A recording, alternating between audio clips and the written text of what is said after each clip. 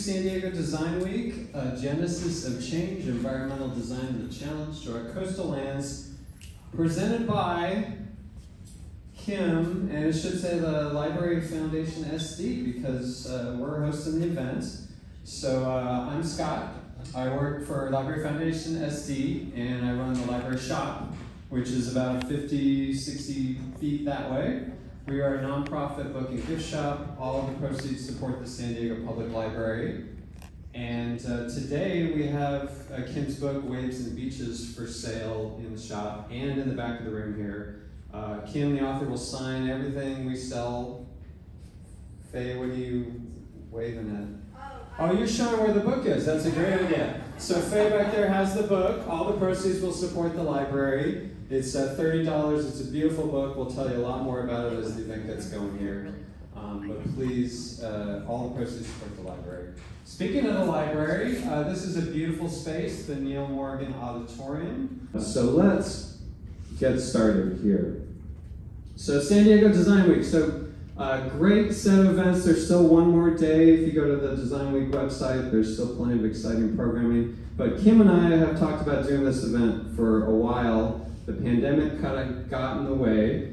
Uh, in 20, did your book come out in 2020? 2021. 2021, probably the worst time ever to publish anything, right? Because the world was turned upside down.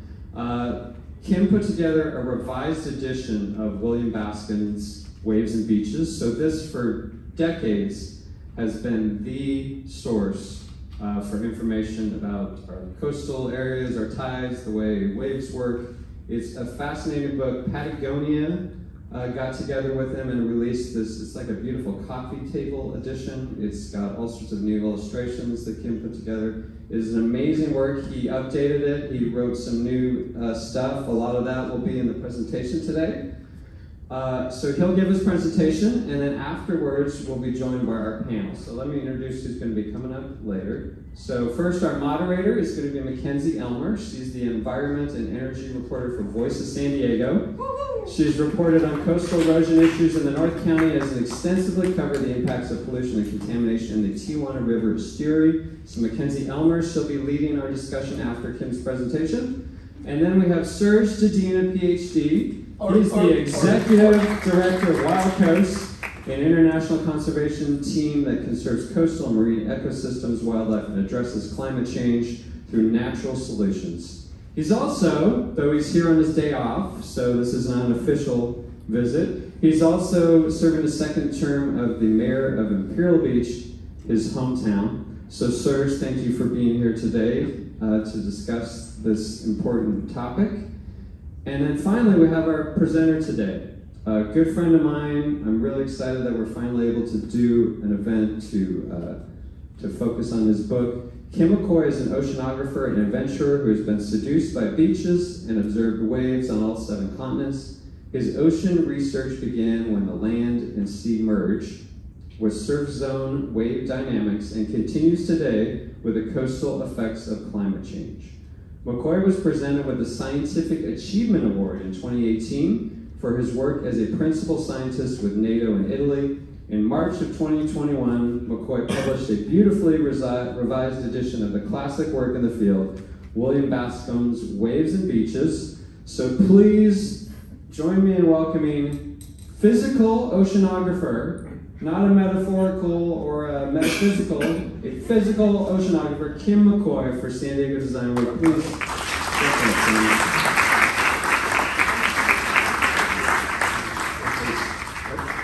Okay, Scott, we're going to get physical. You're right there. Okay. And we did, we provided smart water for today's event because of the high level of talent here today. Okay, let's see here. Where are we? All right, so um, get in the mood, kind of waves. So this this book, as Scott mentioned, uh, was published first in 1964 by Willard Bascom, and then again in 1980 by Doubleday. And it was used during the Cold War simultaneously by the Soviet Naval Academy and the US Naval Academy, just to give you a little bit of idea of how broadly accepted it was. It was translated in several languages. So I met Willard Bascom first in the late 90s, although I had used his first edition in graduate school. So I'll read a little bit from the preface and then we'll go into a presentation. It should last a little over uh, about 25 minutes. So the sun's heat still creates the winds, which transform into waves until dying in turbulence upon the shore. However, our measurements and interactions with the waves have all changed. The numbers of surfers, divers, kayakers, sailors, and people living in the coastal areas have increased immensely. The size of ships and the number of offshore structures have grown into a web of international commerce that influences all humans. These changes now affect our urban planning, large scale funding, political decision making, all upon an undeniably rising sea level and changing climate. But still, by understanding the origin of coastal dynamics, societies can anticipate coastal changes and respond to those changes in support of the well being of their members. This edition of Waves and Beaches will help you take action and is in part why I became involved with its writing. Gives you a little intro there of why I might be standing here. So, here we go. It is a 20 year storm, and those 4,300 units are going to have major problems, but we're still permitting things, and that needs to change because if you're putting things in a watershed, it's only time before they are removed by nature. So this gets a little bit technical here. This is uh, the opening of an estuary. So this is a plan view. So this is water here, this is the ocean. And as the tide goes up, it pushes water into the estuary. As the tide goes down, it pushes water out. But it also pushes sediment in, and if there's a river flow into it, which there usually is, that's uh, an estuary is basically where fresh water and saltwater have agreed to a treaty and they say, okay, you can do this for high tides and I'll do that at low tides. And so you if you change the, the opening here, and here's a ratio here, this is entrance area section, which is this here, in relationship to the tidal prism, which is how much volume is going up and down during the tide, you have a healthy relationship. That's described by this line. So if you if you if you go one side or the other, you get either deposition, like you're getting at the Penasquitos, or you can get erosion. So it's, a, it's, it's not a simple thing, the balance is very subtle. So at the Tijuana estuary, we have sort of four outcomes. Here we are today in the center. And so if we have more extreme river flow events, so it rains in the Tijuana river shed, we get more water coming down, we get lots of sediment if we have fewer river flow events, we get less. And so we can have two scenarios. We can have Lake Tijuana, which is lots of water, or we can have the mouth opens up of the estuary and then it just becomes a big lake. it's it's um, it it's a difficult situation because we don't know what the weather is going to be. We just know it's changing. And on the other extreme is, okay, it's just going to turn into a salt marsh. And uh, so short-term solutions have long-term liabilities. So what is done there is really important. General backing up a little bit. So upstream watersheds replace sediment losses as waves and tides determine our coasts. It will affect what's happening down in Imperial Beach. So you see what this massive watershed in comparison to that small Tijuana River opening. And the sediment goes north. That's pretty much what makes the Silver Strand and uh, Coronado. So you change the dynamic here, and lots of things start happening, not least of which is Imperial Beach disappears. At the coast, freshwater and saltwater mix continually, and when you pump fresh water out, what happens is it lowers the water table. And saltwater says, oh, cool, I can go in that direction. So it goes in that direction and it spoils the aquifer. So that water is used for drinking, it's used for irrigation, growing crops, and if those things change, the amount of people living in an area is, is, is changing, the amount of crops that can be grown changes. So further upstream, if it rains differently, you're going to have different influx of salt water, uh, fresh water into the saltwater system.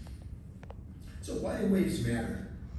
A wave of climate change because the ice is changing in the liquid water, and the liquid water is changing in water vapor. It's changing the whole water system, the hydrology, how things flow on, where where rains fall, how much atmospheric uh, water vapor there is, and of course how much ice. I mean, the ice is a very visual thing, but it's hard to see. Oh, how much water vapor is there in this room? It's a very hard thing to see.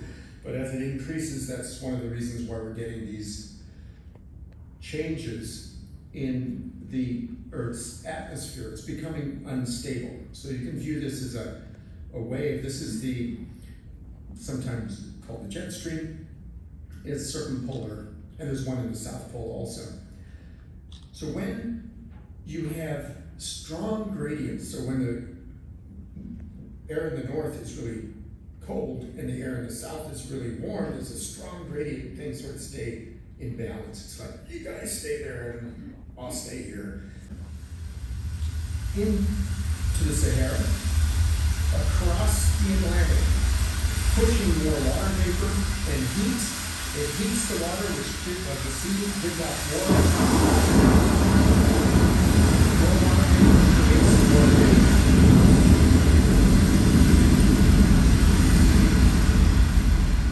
And then you have these massive floods. So you have things that happen in the coastal zone that are not just the storm surges, but they're also the water that comes down. So the water and the storm surge and the and the heavy rains meet at the coast and it's disaster. So there's also waves of weather in biology. That's great. All right, now to the Q and A portion, discussion session, section of our talk. I know when I'm in the audience, I always have some kind of burning question. And I want the moderator to provide some time for us to ask from the audience. So I know you guys have questions. We have a preeminent wave and beach specialist with us, so now is the time to ask, and I'll cue you for shouting out a question. But um, I guess I wanted to start by just talking about uh, Willard Bascom a little bit, who wrote the first few editions of this book. And um, I think even you used this book uh, as a student, didn't Grad you? student, yes, as I a did. student, yeah. You, um, maybe you need a mic too, if you don't mind. No, We have two up here to share, so. Um, and so he was an explorer and a geologist. It should be working, I think. Hello? Hello. So he was an explorer and a geologist, and he even developed technology to, I think he dug the deepest into the Earth's crust. And Yeah, he was uh, responsible for Project Moho with a lot of other scientists in the late 50s and early 60s. yeah, he developed deep sea drilling technology, right? Yeah, he, he rev- if you've ever heard of dynamic positioning, Willard Bascom invented that, as well as recommended to Bradner, Hugh Bradner, I think it was, to use neoprene for the wetsuit. Yeah, so. Um, so then you became friends and, and sort of started to write uh, this third edition together. But what my point is, is I think the second edition was written in 1964. So you had the monumental task of sort of modernizing it, and I kind of wanted you to talk about how you modernized this book uh, for this third edition. Yeah, so the first edition was 64, the second edition was 1980. So everything in this book that is after 1980, actually 79 is when the writing stopped, is my offering to Willard's, Willard Bascom's uh, history. And there was no mention of climate change, there was no mention of sea level rise, there was no mention of pipelines and hydrocarbons and wars that come about because of entities disputing over where the energy is going to come from. And mind you, this was published in March of 2021 before Ukraine happened. So Bascom was a, a pretty, he was pretty much a Renaissance man. He loved poetry, all sorts of things. Yeah, so I just, the point is that you had to put in a lot more about climate change and how that would affect sea level rise and what the wave energies and how that would affect the coastal um, erosion around the world, right? I just, Yeah, I, I don't really know the number, but I, I would estimate that forty percent of this book is new topics and, you know, merged, merged words. That was actually the hardest part of doing the third edition was, since I have uh, such great respect for Willard Bascom, was keeping his style, keeping in mind what I would think he would be doing in the twenty-first century if he was still alive. Um, and so we're here for SD Design Week, and so we're talking kind of about designing cities in the face of climate change, in the face of rising sea levels and coastal erosion. So I kind of wanted to turn to Mayor Dedina. You've been mayor for eight years of Imperial Beach, um, and uh, I think your term ends in December, right? Yep. Um, but your city lies sort of low, um, whereas a lot of the coast in San Diego kind of rises up on these cliffs, right, that are eroding out to sea. But Imperial Beach sort of sits low, um, right next to the ocean. Um, and not only does it face the region's biggest pollution problem, as we know, from the Tijuana River, which we can talk about more, but also the effects of sea level rise, right? Like in the wintertime, you face these things called king tide, which maybe you can explain a little further um, in a moment, but there's videos of those waves now reaching deep into the city. Um, so I was just curious, you know, what is a city like Imperial Beach to do in the face of these sort of climate change effects from sea level rise? Well, yeah, no, great question. So Imperial Beach, I'm sure all of you have been to the coolest blue collar beach town on the California coast, the south end of the county. Um, our city touches the U.S. Mexico border, surrounded obviously on the west by the Pacific Ocean, um, south the Tijuana River, the Tijuana Estuary, a National Wildlife Refuge, State Marine Conservation Area, uh, NOAA Estuary Research Reserve, um, California State Park. Uh, there's a county regional park uh, east of in the, of the valley, and then obviously we have San Diego Bay on the on the north end of the city. Uh, it's a national wildlife refuge, um, and then to the east is the Otay River, right? So we've got water coming at us from all sides. First, I just want to thank Kim and MacKenzie. I work very closely with MacKenzie. We're on the phone a lot talking about, she's done a great job of just talking about all the nuances of all kinds of things to do with the Tijuana River and other coastal issues in San Diego. But I, I really want to thank Kim for just engaging me in this. I would happen to be on his book launch. And uh, I, I first had this book uh, in high school. My uh, teacher, uh, Jim Knox, was an early member of the Surfrider Foundation. We helped start a breakwater project in IB with Doug Inman was involved in, the great coastal geomorphologist and Scripps. I think you studied. I it. worked with. Yeah, so legend. So to be involved with this book, and I'm like, are you kidding? I have an original paperback. I got it at a bookstore downtown. So anyway, really important book in my life. But more important, what I want to say about Kim, and it relates to how IB is handling this. When you work with scientists who either at Scripps or got their PhDs at Scripps, they're unabashedly enthusiastic about science, applied science, working with people, and being in the field. And it's a joy to be with these great scientists who are in our city, right? Or talking about things. And I just love this presentation, love the book. So I wanted to thank you for that, Kim.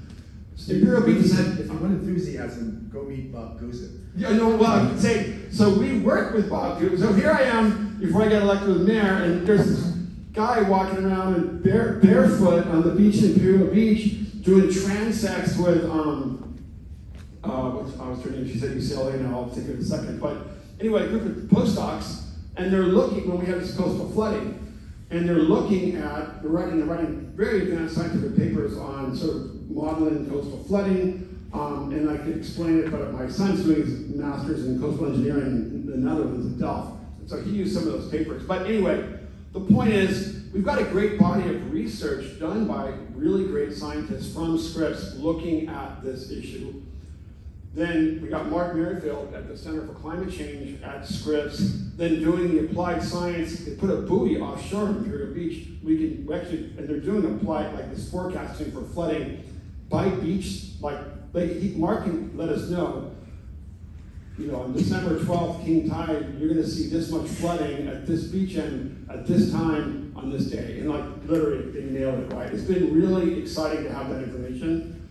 Number two, um, then scientists, uh, engineers at San Diego State and Scripps, Mark's team at Scripps got another grant, National Science Foundation grant, to look at subsurface flooding.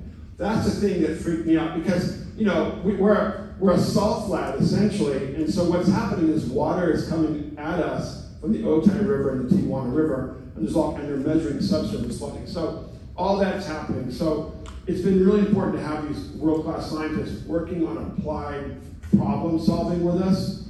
And then I, just wanted to say, you know, I think what's been important, to talk about mosquitoes, probably some of the world's most advanced wetland and natural climate solutions work, really working with nature, has gone on in San Diego County. You think about some of the applied science, the amazing, really ingenious restoration project at San Dieguito Lagoon, if you've seen that, Penasquitos, uh, Wild Coast is working with mosquitoes with agencies in San Diego, and obviously South San Diego Bay and the Tijuana Estuary, where 70% of the tidal prism has been filled in, by the way.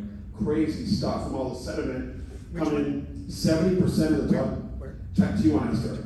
Yeah, it's devastating. So I, I, I wanted to say that that's been the context for Imperial Beach, and a lot of times we get the regulatory process doesn't necessarily help because the focus has to be on infrastructure and doing smart things to redesign what we have, move it away from the coast, like the, the train tracks, right? And then do things like working on dune restoration, wetland restoration, and figure out how we're going to work with nature instead of against it. So that's where we're leading the city.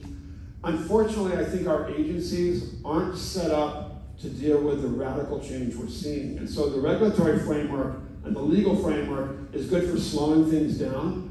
But what we need is to accelerate working with nature and getting these projects going. If they take 20 years to get the permitting, that's already too late. It's all- all- And, and one little comment, if you remember the slide where the sea level rise, it's been stable for four thousand years. So in the big picture, you know, civilizations have developed because things have been so stable.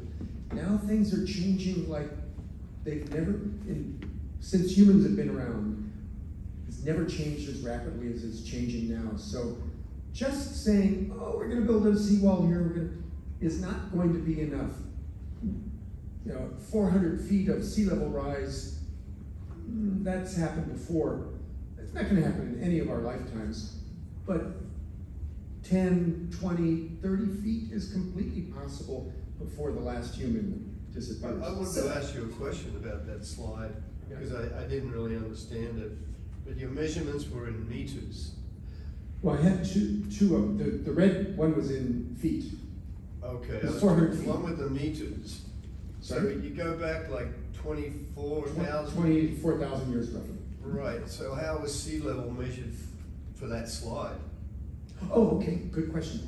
Um, So there's sort of four ways that they measure global climate and sea level. There's, not to get too technical here, but coral reefs, uh, there's a oxygen isotope relationship. They look at uh, dendritic, they look at um, tree rings, they look at weather patterns, they look also at sediments in the ocean. And from that, you can infer what was going on at what level at what time. And this is not just a couple of measurements, it's thousands and thousands of measurements around the entire world. It's indisputable that that's Very how it is. clever. So I guess I wanted to just press on this point, you know, we have coastal development right on the edge of falling off a cliff, basically, especially in North County. We have it right along the beach in Imperial Beach. So when is it, you know, when do we have to move back? Or should we move back? Or, you know, when is the, is it up to local governments to direct that policy of what's called managed retreat and climate change policy? Well, in, in Waves and Beaches, in this edition, there's a little vignette called The Pitfalls of Coastal Development. And in that, I drew a big blanket and then go, you know, fine scale. Basically, it's a feeding frenzy of funding to build things with, with permitting. You know, it's obvious that it's a good thing for municipalities and governments to have additional funds, okay? Well, Unfortunately, they permit things without thinking of long-term repercussions, and bonds are issued, and construction's great, people get new houses, and that's wonderful until things change. So stepping back and looking at things in a longer term, like Serge is talking about, is extremely important. Changing the social norm at governance is probably the hardest thing because stopping permitting is not a very popular subject. So, if you follow the intricacies of coastal adaptation and sea level rise and coastal flooding issues in California, you've probably seen a lot of issues come out with Del Mar and then Imperial Beach. You may not have around what's called managed retreat, moving back. So- so- and I'm going to tell you a little story. What happened in with the Coast California Coast Commission? We had to do these local coastal plan updates that talked about how we're going to address sea level rise. Unfortunately, I think the focus became on private residences rather than the issue of infrastructure and what actual cities and governments could do. That correlates also with a lot of us who grew up on the beach assume that everyone knows about the El Nino floods and storms in the 1980s. Most people who probably live on the beach, a lot of folks have bought homes. You can imagine some of the wealthiest people in the world that can buy, you know, a $35 million home at, Bird Rock. Um, they may have set two or three homes. They haven't seen that flooding. We haven't seen that kind of flooding in a long time in San Diego. That up, so this whole issue of like the focus on managed retreat and focusing on private property owners created this firestorm for cities like IB and Del Mar that sort of inhibited our efforts to actually address things like infrastructure, train tracks, uh, water mains, sewer lines, electrical substations. And so Imperial Beach really took a step back to really let our residents know we're not going to move anybody's house. No one's going to get kicked out of their house. We are going to focus on the bayfront, you know, dealing with wetland restoration and infrastructure and adaptation measures that don't involve private property owners. And we are going to deal with the issue of how, how we're going to address infrastructure on Seacoast Drive and all the other things that we have to do. And if we had money to do that right now, which we should have had money when it was zero percent interest rates, we would have done it in, in two years. We would have taken care of everything because that's what cities are good at is doing infrastructure. We're not supposed to get in wars with private property owners. So you may not understand that context. I think the big picture for me in California is focus on infrastructure, infrastructure, infrastructure. Take care of the natural climate solutions work. Let's do the wetland restoration work, watershed management, dune restoration. Let's figure out how to deal with all these bridges and freeways that impede a flow is happening all over the state. Let's focus on that. I think there's been an effort on that um, in, from Sacramento. Uh, I think the funding's been delayed because it was because of the pandemic. There should be more money now. So hopefully that answers the question. But we've been really focused on practical things you can do to do coastal adaptation work and trying to avoid firestorms of political fights that actually get us bogged down in meetings rather than actually doing real things that help us adapt the coast. Um, did anyone have a question in the audience at all? Oh, there's quite a few. Okay, um, I saw you in the back first. Can you shout it? Yeah, and I can't hear anything, so if I can. Oh, we, oh, okay, we're not going to shout, I guess. We're going to hand you a microphone. Here, Scott has a mic. One of the awesome things about San Diego Public Library budget is we can only afford two wireless mics. So. Question for Serge. Um, I love Imperial Beach, and as a landscape architect here in San Diego, I'm very interested in green infrastructure.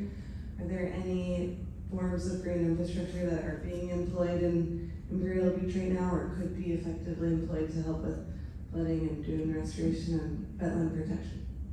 Yeah, look, I, let's give credit to the folks at Tijuana Estuaries National Estuary Research Reserve. It's sort of like a lab.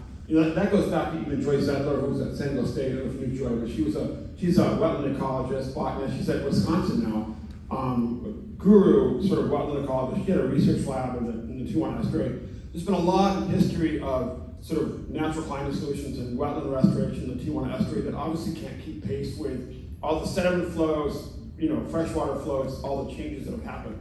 But that's been a great start to see that, that kind of intersection between green infrastructure and then um, the wetland restoration. But we just, we're doing that now in Imperial Beach. So we redid our uh, Imperial Beach Boulevard. Everything you do now is because of stormwater, you're doing bioswales uh, in places. You know, all that you have permeable concrete so you can absorb more stormwater. It's fascinating to see all these new infrastructure projects. Really, really cool intersection of infrastructure improvement, stormwater sort of adaptation, but also green infrastructure. And the same thing on San Diego Bay, where it really has been under the radar, but we got listed on the governor's page on sea level, on climate change and sea level rise. The work on South San Diego Bay is globally important, innovative, really interesting work where Fish and Wildlife Service, the Port of San Diego, California Coast Conservancy, Coastal Commission, City of Imperial Beach, probably missing other agencies, have really done a great job of looking at restoration projects, but also we got redevelopment money to do old buildings and on the bayfront, there's a really uh, underserved area. Thirty percent of our kids in that area live in poverty. It's a, it's a, you know, it's a, it's not good. Some of the condition of those neighborhoods is changing, but it, it is a, you know, the bayfront in South Bay has been forgotten. But we're doing bioswales, you know, turning old vacant land into sort of like transitional coastal habitat and parkland, accessible to the public. So what you're seeing is a renaissance and really good thinking on infrastructure improvement, economic development that pushes, goes back beyond the sea level rise, hundred year sea level rise zone, as well as opening up to public access. And that's the kind of projects you can see, you should be seeing all over California, whether it's in Oakland, East Bay, South San Diego Bay, eh, you know, in Los Angeles, Long Beach. That's the opportunity and where we're gonna have to make these big investments, because that's where the port infrastructure is, that's where a lot of our, you know, power grid is, you, you name it. So I'm very excited, I could talk for a long time about that, but I'll stop. I to add one more question, but I want to follow up on that. I, so beach widths is a big problem here, right? We have narrowing at beaches um, all along the coast in San Diego. Um, and, you know, a lot of, well, some environmental advocates are saying, you know, that's because we don't allow the cliffs to fall to create a beach. I know that your book touches on that. Um, so how do we balance um, designing, uh, sorry, one more example. In North County, to kind of address some of this, they're fighting over whether they should build jetties into the water um, to catch sand, to widen the beach, and all this sort of hard infrastructure. So how do you balance this, you know, natural coastline building by allowing the cliffs to fall, and then what kinds of hard infrastructure should go in place to aid in that? Uh, Good question. There, I'll give two extreme answers.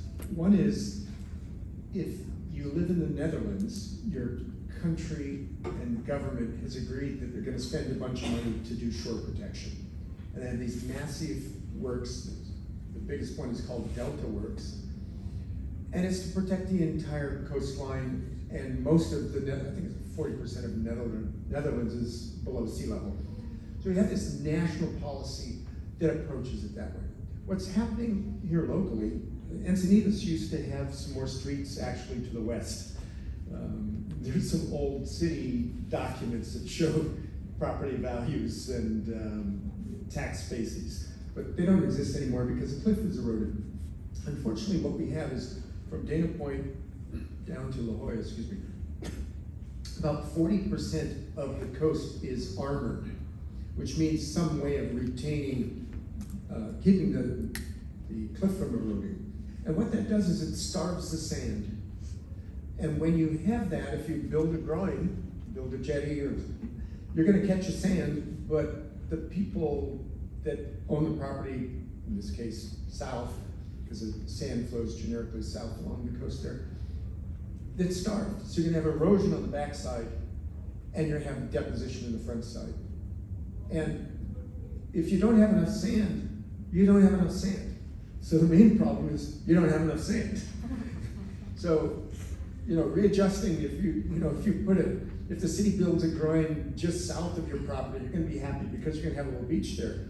But if you're, it's just north of your property, you're, not gonna have your property much longer. You're gonna lose the property rights because the title, so the high, high water, low, low water generically determines what, where the property ends in federal law comes into, it gets complex. But I don't think there's an easy solution for the, I'll call it Southern California Bight, because there's so much armoring going on. And until we let massive storms that perhaps we'll get that push a lot of sediment through, and if the dams aren't there, the sediment will make, make it down. But if there's dams there, all that sediment ends up behind the dam and the beach is still starved. So it's a, I don't see any solution, and I think Bob Guza agrees, the only way that it's gonna happen is you're gonna have to keep doing beach nourishment, or you're gonna have a, have to have a, a national approach like the Dutch do.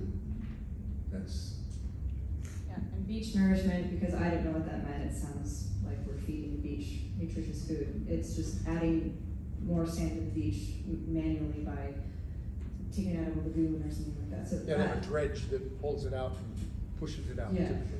Yeah, um, and then question, there's a question in the back or the front, yes, you in the Yes. And Kim, just I want to Oh, do the uh, the slide where you had Del Mar. Oh no, it's okay. Don't get up. Don't, don't. Just I'm referring to the slide you had the, the Del Mar Beach needed sand, and then there's a sand mine on the other side of the road. That Right. seems like a metaphor for human foibles of civilization to me. Hey, it's all, we're all schizophrenic, right? At least most of me. We've talked a lot about solutions, and I just wanted to make a comment.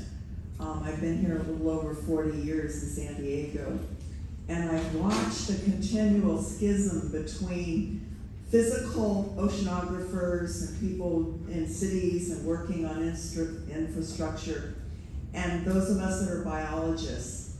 And sadly, what I've observed is that the biology is an afterthought after there is damage to an ecosystem, then we start saying, oh, we need to restore. That's a word that's been used a lot today, is restoration. I mean, Imperial Beach was lucky that back in the 70s, because of the possible extinction of Clapper rails or Ridgway uh, rails, we, we got some national funding. But usually the biologists are used as an afterthought or as a uh, obstacle to overcome. We have an environmental uh, evaluation done, an impact study that's usually viewed as, oh, how can we correct this because it's in the way of development. So I'd like to see perhaps more thinking right now that we have to uh, restore or we have to find a solution to the problems that we've created. But if we thought 40 years ago, which a lot of people did think, you know, if you disturb this ecosystem, not only are you going to disturb the animals and the plants and everything, but you're ultimately going to have a problem for human beings. And we still continue to issue these permits. I mean, some of us remember when there were cows in Mission Valley and the shopping centers promised that they would not come back to the city for funding because of flooding, because they were building in a flood zone for the river. But yet every year they get money, our tax money, to mitigate the flooding that they knew that those of us said is going to happen. So I'm saying right now, it's important, everything you're talking about is vital and important. But what are we also doing now to involve biologists in the initial stages to say 40 years from now, you're going to have a continuing problem? Thank you very much for that comment. Yes. Did you have a follow-up comment to that? Well, this is a slide up here that I didn't include because I had to keep it to 25 minutes, but I could talk for a whole hour on this one slide. And the physical oceanographers are intimately involved in the biogeochemical cycles, and we all have our disciplines. And luckily, there's better understanding. Back to the permitting process, the election cycles are very short compared to biological and geological cycles, and certainly very short in comparison to sea rise, sea level rise. So get people elected that pay attention to long-term problems with long-term solutions. Because if we don't, we're all gonna die. Like, like in, in Lawrence of Arabia, you know, they're going across the desert and, and uh, the one guy says to Lawrence, he says, in front of us is the desert. No water until the other side. If the camels die, we die. Yeah, I, I just want to say, I'm, I'm actually really bullish on, on restoration. I- I'm going to give some practical examples. I, I get it. You know, I, I think I think we're seeing a lot more advanced types of projects, integrated projects with, you know, the focus really at the end of the day, for example, Pond 20 at the south end of the National Wildlife Refuge in South San Diego Bay. It's 80 acres under ownership of the Port of San Diego. Um, they have an MOU with the city of San Diego and the city of Imperial Beach to restore that. They're going to get mitigation credits from the Poseidon Plan in Huntington, that fell apart, so we still have to work on that. But the idea is that it's going to be restored to full endangered species sort of habitat. Um, and if you've seen the restoration that's gone on in the south end of the bay, if you haven't seen it, please do it. It's remarkable to see how the minute they turned open water into marshland, the Fish and Wildlife Service got that going, um, the birds just started coming out, right? So it's been really remarkable to see that restoration. I'm really bullish on what Audubon, they're big friends of ours at Wild Coast, with rewilding Mission Bay, and it's a Kendall Frost Marsh for at UCSD as well. I think the idea of getting some more natural features into Mission Bay is brilliant. Let's rewild all of Mission Bay and do as much as we can in San Diego Bay. I'm, I'm really a big fan of what's going on in, in uh, San Dieguito Lagoon. I think there's been a lot of great restoration there. I just visited the, up, the upper phase two of that project. And then Wild Coast is the organization I run. We're doing very focused, getting rid of invasives and putting in very specific list of endemics, you know, native species that also help sequester carbon. I think the folks at Salk Institute doing some great research on that. So I'd say that we're really just in the incipient stages of integrating natural climate solutions, what we call blue carbon, sort of carbon sequestering, carbon storage, sort of uh, restoration type work, but also enhancing uh, species, uh, ecosystems or species. And you know what you're seeing with rewilding? Doesn't matter if it's Europe or the forests of Poland or here in San Diego. When you build it, the wildlife come. It's really, you know, and it, but it really takes great biologists to work with the ecologists and the physical oceanographers to define those systems. So they do work for fish, people, and, uh, and wildlife and plants. So anyway. And we're a bit over our time, but if we had just one last question up front, I think we could, if you guys want to stay a little bit longer. We're in no hurry, so Yeah. maybe Scott is. Thanks for taking my question. Sure. Um, I make science documentaries for outlets like PBS and Smithsonian Channel, and I'm wondering how do each of you wish that entertainment media would talk about topics like sea level rise? Um, and I'm interested in each of your perspectives as a scientist, as a journalist, as a public official, and um, activist. Are we being recorded right now? No. I had to ask. Um, what, you want to start with that, Kim? No, go ahead, go ahead. How, do we How address sea level? how do I, as a media per- person, wish that media was addressing sea level rise? um, I, I guess it's great that you're doing, you know, long form video work on it because I think the visual aspect of showing, you know, of climate change is really important. I mean, there's a comment about uh, that Kim made about the, you know, elect leaders who have this sort of long term perspective on climate change. Well, an election, or I'm sorry, elected physician, their term is usually only four years or eight years. Um, and so it's really hard, I think, for elected leaders sometimes to be able to get the political clout to make those decisions that are going to stick long term, right? I mean, City of San Diego right now, they passed a very long uh, climate action plan, uh, net zero by 2035, but they have to actually, you know, stick some um, some of those like deadlines on some of those actions that they want to make, and that takes a lot of you know political risk to have to say no, we're gonna um, you know move move development back to this position on the beach or something like that. Um, so I guess I would just say continue to do what you're doing and, and showing videos like the King Tides and Imperial Beach that show them sweeping into the city. I mean that's a very visual aspect of sea level rise that I think people uh, need to share. So. Yep. You, you look, what we learned in Imperial Beach, talking about getting stuck in this managed retreat vortex that was, you know, took us away from coastal adaptation and was, you know, hugely allowed us to really realize how you communicate climate change. First, humans aren't adapted to talk about things that are going to happen in 5,000 years, let alone tomorrow. So I think the coastal flooding, we did a lot of media around coastal flooding, and we don't talk about sea level rise, we talk about coastal flooding. Overwhelmingly, people can rally around that, they can see it. Some guys deny it. Don't ask people I've known my whole life, whatever. But um, it's all of the above, and I think what we learned in those meetings is having a meeting with 150 people is an absolute waste of time. If you're having a meeting on something like sea level rise or climate change with more than 10 people, you're wasting your time. You have to have small, intimate meetings, to have deep conversation with people. It takes time. And I told the head of, um, Jack Ainsworth, the head of the Coastal Commission, this, we, we need to learn how to communicate better. And it's painstakingly deep work that takes time because people don't think long term. Most of us don't. And, you know, that's just how we are. So, anyway. Kim? Yeah, this slide is not the way to communicate to the general public. this slide is the nerd approach. Unfortunately, we don't respond intellectually to these things. Most of us, it's a visceral response. So what Serge was saying about show the flooding, show these things, and bypass the emotionally charged things, the politically charged terms, and just show what's happening. Because most people will believe it when you show, you know, Imperial Beach during a king tide.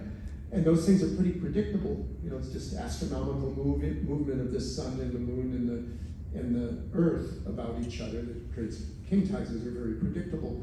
So these things, not only can you anticipate them, you can say, look, this is going to be occurring. And then you go and document it. And those sorts of responses are, are the way to get at people. Just a little vignette with what happened with uh, um, an approach to global warming and greenhouse gases.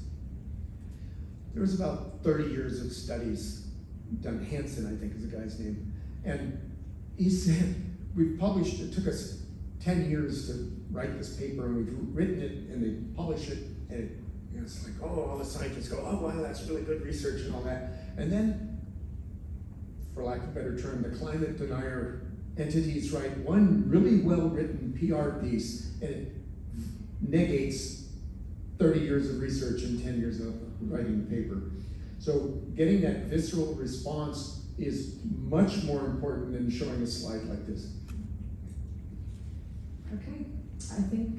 Uh, well, I think we have time for one more question. Okay. And those of you who've been to an event here at the Library Foundation and the library know that I asked the last question.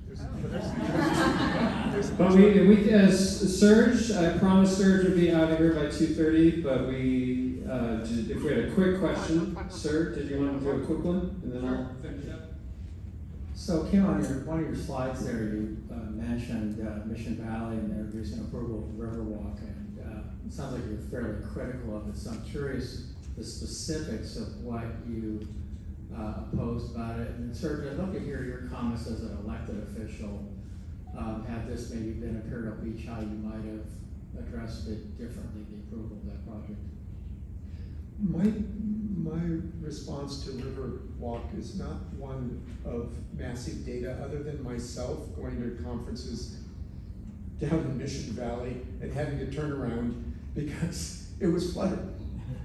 Now, some parts of that area is higher, but as long as the upper reaches of the San Diego River watershed are being influenced substantially by human building and, and uh, influencing the runoff, we will have a storm, maybe not in my lifetime, but certainly within the lifetime of those buildings, and it'll take out a lot. And it's just simply too low.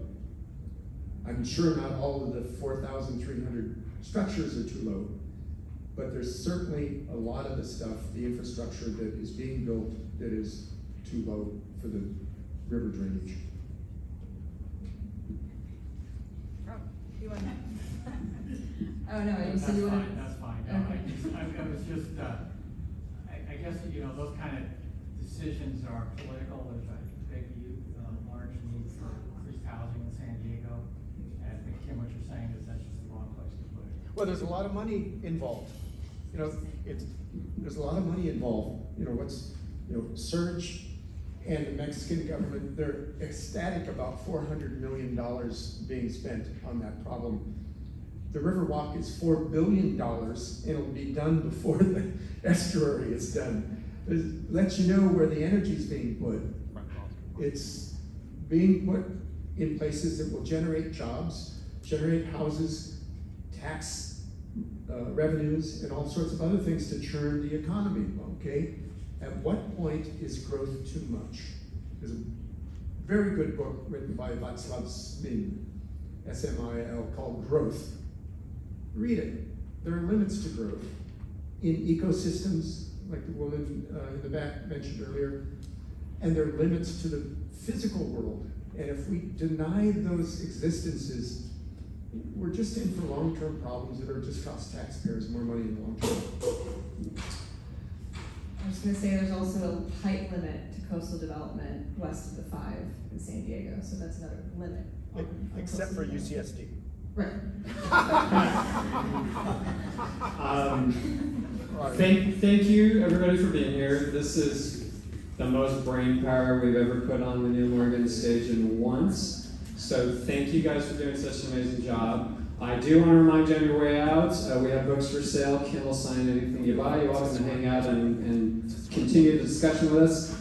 Get your parking validated on the way out. It's inside the lobby at the information desk. There's a tower. It'll scan. You get your two hours free.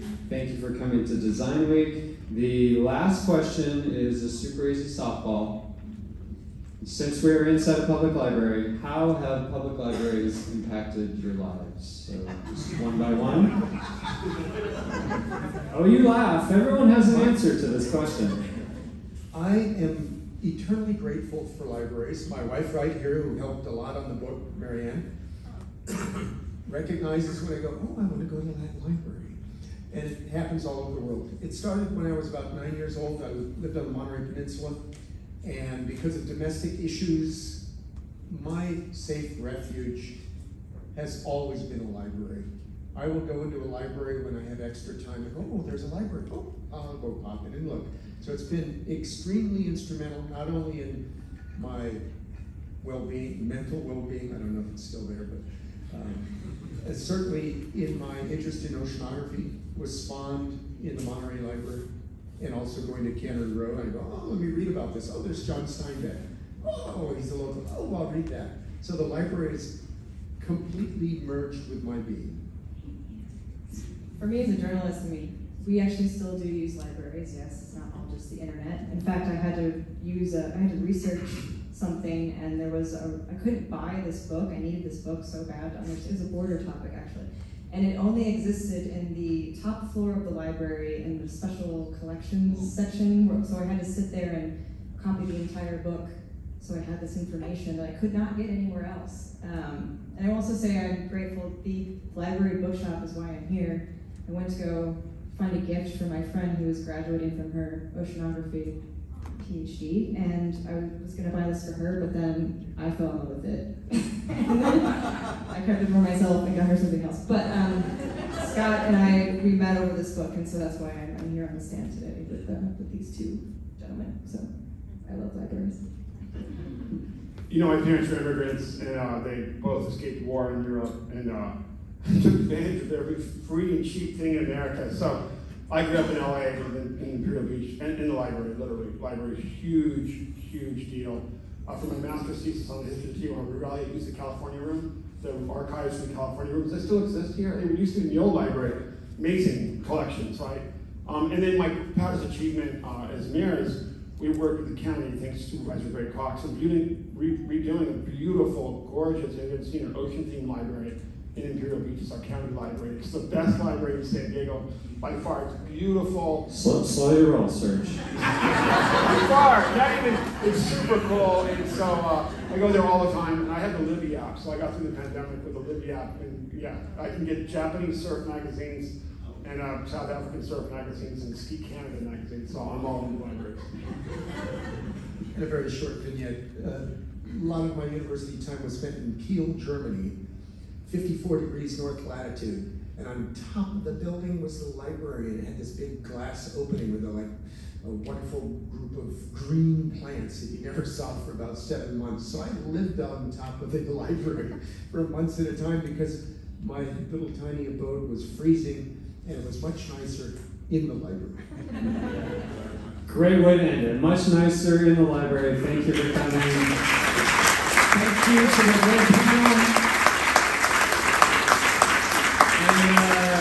And the best. Oh, that's cool. Okay.